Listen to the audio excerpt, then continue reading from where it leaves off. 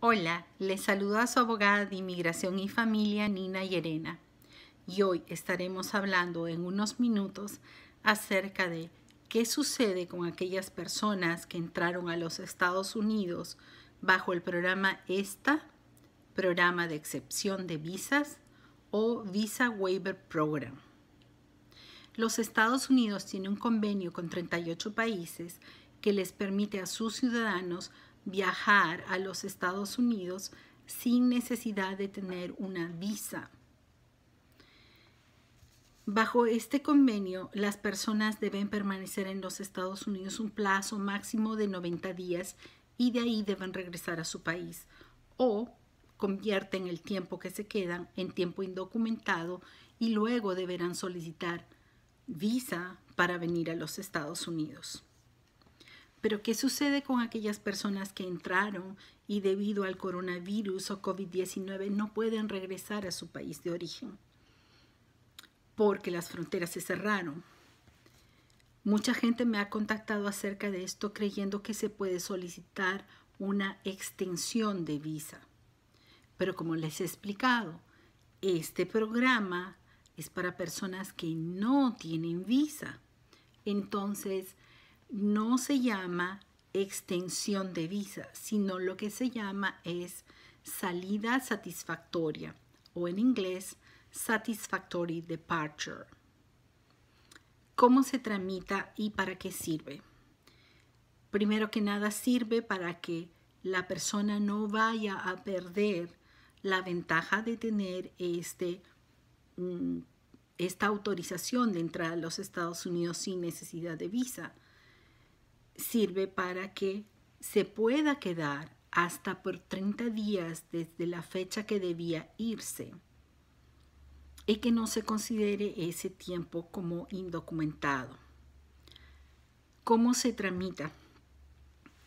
La persona debe llamar al contact center del USCIS al 1-800-375-5283 yo colocaré el número de teléfono en la cajita de descripción y deberá decir su nombre, de qué país es que cuenta el pasaporte, o sea, ciudadano de qué país, en qué país reside para poder saber si es que puede retornar o no a su país y hasta qué fecha estaba permitido de entrar a los Estados Unidos.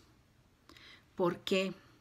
Porque este trámite se debe hacer antes de que llegue esa fecha límite, no después. Entonces, cuando usted llama al contact center y da esa información, el oficial mirará si usted califica para la salida satisfactoria. De ser así, será porque está en el medio de una emergencia. En otros momentos esto se daba cuando, por ejemplo, la persona sufría una enfermedad y no podía regresar a su país. En este momento es debido al coronavirus. Entonces, de usted calificar, el oficial le dirá que usted envíe un correo electrónico al correo electrónico que le indicará el oficial depende de qué ciudad usted deba salir de los Estados Unidos.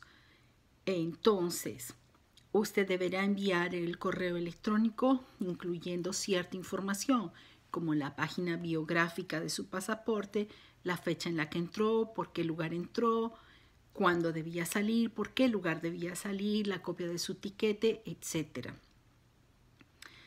Y después y debe colocar en la parte de subject o asunto, deberá colocar salida satisfactoria o satisfactory departure.